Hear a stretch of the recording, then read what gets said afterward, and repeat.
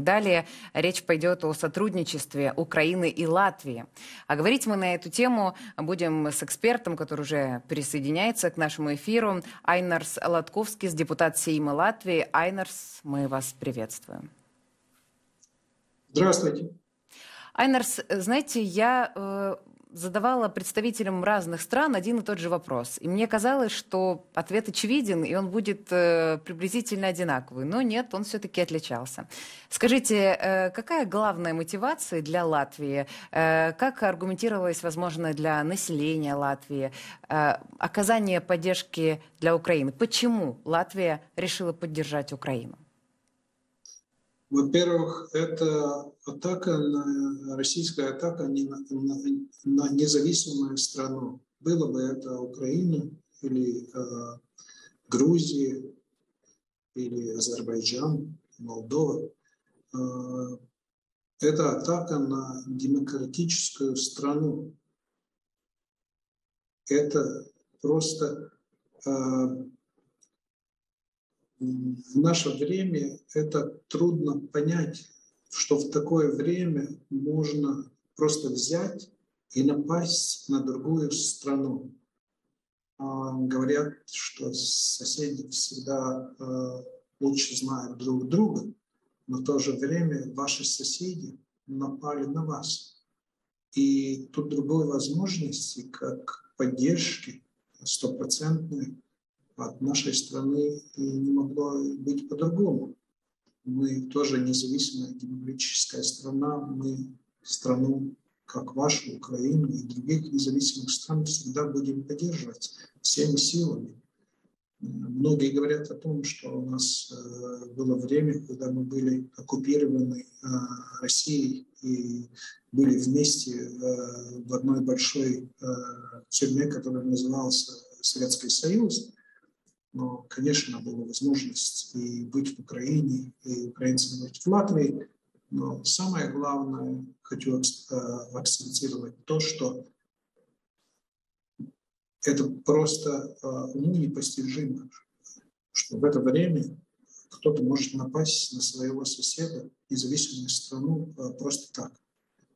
И наша поддержка вам не только потому, что мы вас знаем, и любим наш народ. Это потому, что не можем принять идеи вообще, что можно напасть на независимую страну. И это весь Запад признает. В свою очередь, э, если говорить о военной поддержке, которую предоставила Латвия, э, я не буду перечислять абсолютно все, но это в общей сумме более чем на 300 миллионов евро. Это гаубицы, дроны, Э, беспилотники, вертолеты, противотанковое оружие и так далее. И здесь также появляется очень много месседжей о том, что Российская Федерация все равно, вопреки такой мощной поддержке Европейского Союза, в том числе и Латвии, все равно Российская Федерация останавливаться не планирует. А у меня вопрос к вам, э, как к депутату Сейма Латвии. Скажите, пожалуйста, какие рычаги давления сегодня есть э, у Европейского Союза, у союзников Украины для того, чтобы 2023 год, как и запланировано, стал годом победы для Украины? А, во-первых, эти, это санкции а, международные, которые были введены уже с начала войны. А, я не говорю даже о том, что есть заявление Европейской комиссии, Европейского парламента, нашего парламента, других парламентов. Мы эти политические заявления в связи с э, развязанной Россией войной принимаем, будем принимать, и э, такие есть. И голосование всегда, ну, может, не стопроцентные, но э, ну, мощные голосования на поддержку Украины, осуждение России, такие во всех демократических странах уже в парламентах произошли. Но тут главное, что санкции, конечно, они начинает не всегда работать на следующий день. Может, ты можешь запретить какому-то российскому политику или миллиардеру или олигарху посещать э, западную страну и имущество, которое куплено на его имя или на имя какого-то родственника, это может и немножко сработать, но не очень. Тут главные экономические санкции. И они всегда требуют времени. Мы видим сейчас в Европе особенно, и сейчас в Латвии последние дни, как падает цена на бензин и дизель. Это очевидно. Это просто каждый день она падает. А решение, почему она падает, это которое было внедрено, она была, была принята это уже э, давненько, но внедрили ее, она начала работать. Это по цене, э, максимальная цена по баррелу э, российской нефти. Она начала работать 5 декабря. И она работает отлично. У нас цены в бензотанках падают не только у нас, но в всей Европе. И Россия будет получать меньше денег э, от этого, и э, будет меньше денег, которых тратить на войну в Украине. Так что это одно. Но другое, мне кажется, это самое главное, это поддержка Э, оружия. И тут я вижу, что это э, осуществляется в больших э, размерах, чем в начале войны и летом и осенью.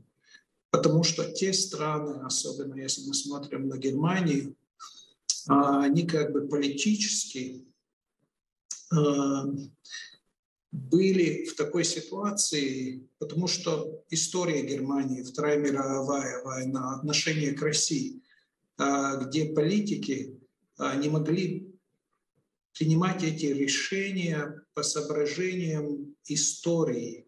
И то, что Вторая мировая война, которая развязала Германия, и война с Советским Союзом, и оккупация части России, в том числе Украины, Белоруссии, Балтийских стран, для них это было очень трудно. Но э, с временем они смогли принять эти решения, и я смотрю, что больше и больше оружия из Германии попадает э, в Украину.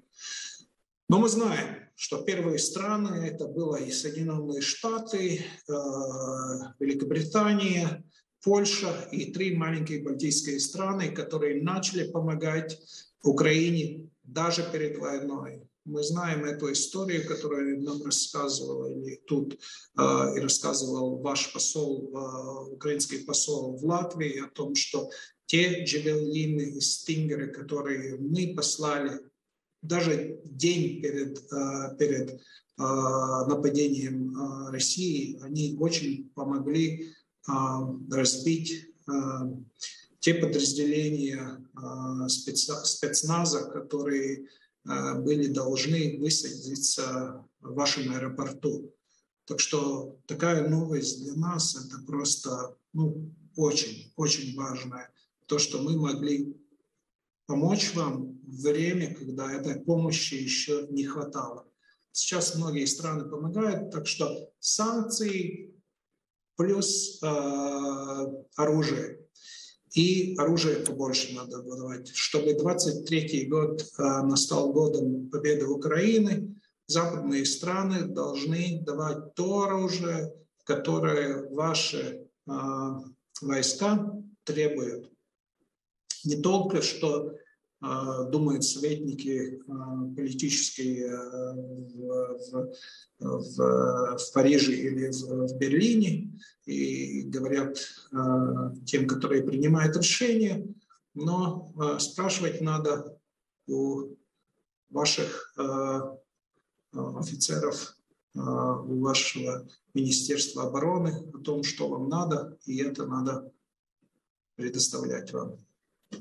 И ведь э, не только была э, военная поддержка со стороны Латвии. Мы хотим поговорить о каждом типе и виде поддержки. В частности, сейчас я говорю об энергетической поддержке. Это очень актуальная и очень важная тема для всей Украины, особенно с наступлением холодов и с тем, как стали учащаться российские ракетные обстрелы по украинским городам. Жители Латвии, предприятия, самоуправление уже пожертвовали Украине несколько сотен генераторов, а еще несколько грузов будут отправлены в Украину вот э, до конца года буквально. Возможно, на тот момент, когда выйдет это интервью в эфир, э, эти, э, эта помощь будет уже также доставлена. Страна передала Киеву 49 тепловых генераторов и обогревателей, ими оборудовали столичные пункты обогрева.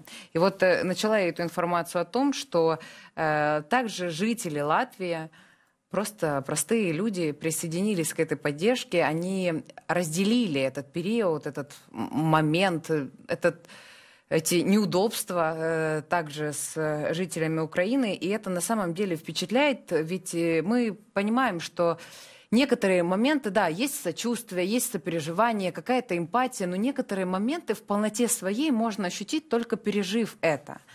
И ведь э, жители Латвии живут своими жизнями спокойными, и вдруг они начинают откладывать деньги, кто-то из семейного бюджета, для того, чтобы помочь жителям Украины. Это на самом деле невероятно, и я хотела бы лично также в эфире еще за это поблагодарить. И знаете, э, вот когда я читаю такую информацию, э, вся эта дезинформация со стороны Российской Федерации о том, что якобы в Европе от нас начали уставать, она не просто теряет всякий смысл, она просто не имеет даже надежду и какие-либо шансы на существование. Вот я хочу, чтобы вы э, продолжили вот э, это мнение и эту тему все-таки, что Россия всячески пытается навязать эту усталость, но если люди искренне помогают, искренне сопереживают, нет такого слова усталость. Конечно, нет. Я просто расскажу историю э, семья друзей, которые фермеры, ну, не маленький, а, среднего. А, почему вот люди помогают? Одна история семьи Калнинч, Норманс а, Клайда и Клайда. Норманс получил в наследство ту землю, которую когда-то русский Советский Союз во время оккупации отнял у его дедушки. Вы знаете, что много э, латышей были э, убиты или высланы э, в Сибирь э, в то время. Знаем, что многие украинцы, особенно из, из, из Западной Украины, эти люди собирают эту помощь, они чуть не два раза в месяц ездят в, в Украине такими конвоями. Они покупают машины Э, джипы, которые можно купить в Латвии. В Латвии уже никаких 4 э, на 4 э, джипов не осталось. Они покупают их, возят из Западной Европы, из Великобритании, покупают, вот, что вы показывали, чтобы было тепло, генераторы в домах. Они понимают, мы в Латвии понимают через историю своих семей, что будет, если тут опять придет Россия это будет смерть, это будет разруха, э, все, что плохое э, латыши знают, это из России. Ничего хорошего мы оттуда ничего никогда не получали. Так что эти люди собирают помощь, потому они знают, что произойдет, если Россия победит в Украине. Это осознают многие на Западе, э, и в Западной Европе, но не в таком числе, как это осознают три страны Балтии или Чехия или Польша. Мы знаем, что происходит, если тебя держат в оккупации, твою семью. Убивают, изнасилуют, посылают в Сибирь. Это то, что несет Россия. Не культуру, а смерть сеет э, в странах, где Россия э, приходит. Так что это помощь э, от всего сердца, конечно, украинцам, но это и то, что мы знаем, что только победа Украины поможет нам избавиться от насилия России. Стоит также отметить, что с первых дней полномасштабного вторжения России в Украину Латвия начала принимать украинских беженцев. Э, около 40 тысяч человек смогли получить убежище. Также недавно правительство Латвии продлило срок поддержки украинских беженцев до 30 июня 2023 года. Это, на этом стоит акцентировать внимание. Скажите, пожалуйста, в данном случае э, готова ли Латвия в дальнейшем продлевать эти сроки, если, как говорит Российская Федерация, э, они так называемую спецоперацию хотят продлевать, э, и это затяжной, они называют это затяжным конфликтом. Также, повторюсь, появляются месседжи о том, что Российская Федерация э, может еще раз полномасштабно наступать и на город Киев. Об этом и министр обороны Резников э, ранее говорил. Есть ли план на будущее в случае того или иного сценария? Во-первых, э, в первые даже дни э, начала войны мы разработали этот закон. Он был уже продлен в середине лета. Сейчас он уже второй раз продлевается. Если нужно, мы его продлим сколько нужно. Мы понимаем, даже в случае, а, когда Украина выиграет войну, будет это в марте или в апреле или в июне, мы знаем, что многие люди, беженцы украинские, они, им некуда возвращаться, если они из Восточной э, Украины. И э, этот закон будет работать настолько, сколько э, этому закону э, тут будет э, на кого работать, это на украинцев. А более 40 тысяч беженцев э, в Латвии были. Некоторые, конечно, приезжали и, и потом уезжали э, обратно. Э, многие, которые приезжали, были с центральных районов Украины. Потом, когда вы отбили россиян дальше от Киева, они, конечно, многие ехали обратно в свою страну. Но 37 тысяч украинских беженцев сейчас ну, так, э, в Латвии. 35 тысяч человек э, обращались э, в самоуправлении э, нашей страны за помощью. Около 20%, которые тут, они уже нашли работу. Они не только сидят на социальную поддержку наших самоуправлений и бюджетных денег – они уже работают. Конечно, много беженцев – это женщины с детьми, а много пенсионеров. Но даже женщины, а, которые посылают своих детей а, в садики и в школы, и очень многие идут в латышские школы, хорошо уже изучили наш язык, они идут, работают, и ну, отлично работают э, люди, изучают латышский язык. Э, ну, Э, мы этому очень рады. Они не только получают помощь от нас, но и помогают нашей экономике, работая и платя э, налоги. Так что эта ситуация нас очень радует. И э, хотелось бы уже перейти Э, знаете, к, вероятно, более приятной теме. Конечно, приятно и важно осознавать, что у Украины столько партнеров, и по факту весь цивилизованный мир поддерживает Украину и переходит на сторону Украины как на сторону добра, и это очень важно для каждого из нас. Но хотелось бы поговорить также несколько о будущем. Итак, Украина после победы в войне станет одной из самых мощных европейских наций и важной составляющей европейского сообщества. Э, об этом э, сказал э, президент Латвии Эгилс Левиц, и также он призвал продолжать поддерживать Украину и вносить свой вклад в эту победу. Мы можем услышать сейчас цитату и продолжим обсуждение. Я полностью убежден, после войны, после украинской победы, Украина станет одной из самых мощных европейских наций. Мы должны поддержать Украину, мы должны сделать свой вклад в победу. Это наше общее бремя. Игилс Левиц, президент Латвии. И также президент э, Латвии заявил, э, он э, говорил о спецтрибунале, у него есть такое мнение, что спецтрибунал нужен, должен рассмотреть российскую агрессию в Украине даже заочно, и таким образом военный суд может конфисковать зарубежные активы Москвы для восстановления Украины. И на самом деле, так как мы назвали тему, что 2023 год – это год победы, а значит год и активного восстановления Украины, эта тема также становится все более актуальной. А как вы считаете, поддержка Латвии на этапе восстановления Украины будет такой же мощной, безоговорочной и дружественной?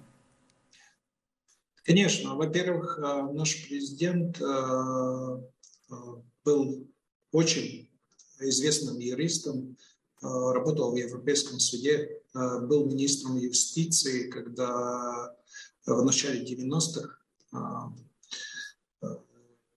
Что я хочу сказать?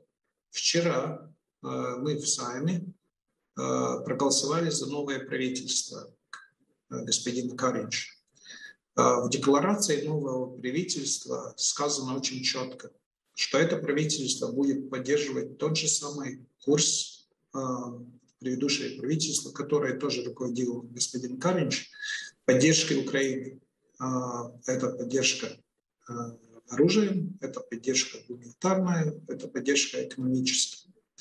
И то, что сказал президент о том, что Украина будет одним из как бы сказать, очень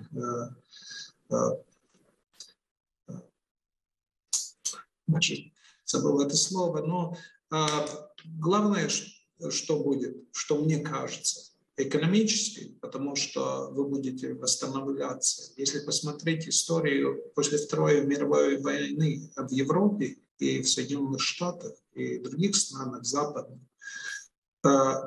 экономическое развитие э, было не постепенным, оно, оно было просто ну, как бы очень в гору. Мы очень на это надеемся и надеемся на то, что Украина э, не забудет о нашей помощи и будет э, приглашать наших предпринимателей э, участвовать в восстановлении вашей страны.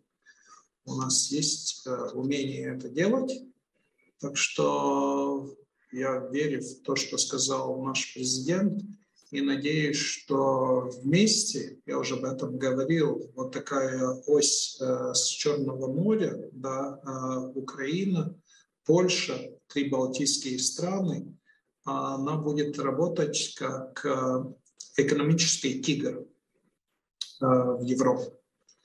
И выгода будет э, не только Украины, но и тем странам, которые поддерживала ваш народ и страну с начала войны. еще одно финальное уточнение, это как раз продолжение темы восстановления Украины. Скажите, пожалуйста, вот в, свою очередь очень много стран – Латвия в том числе э, говорят о том э, восстановлении, уже послевоенном восстановлении. Но э, расскажите, пожалуйста, опять же, здесь, насколько я знаю, нужно экономически перестроить систему так, и в Латвии в том числе, чтобы вот эти инвестиции в восстановление Украины потом приносили плоды как для Украины, так и для Латвии, так, конечно же, и для всего Европейского Союза.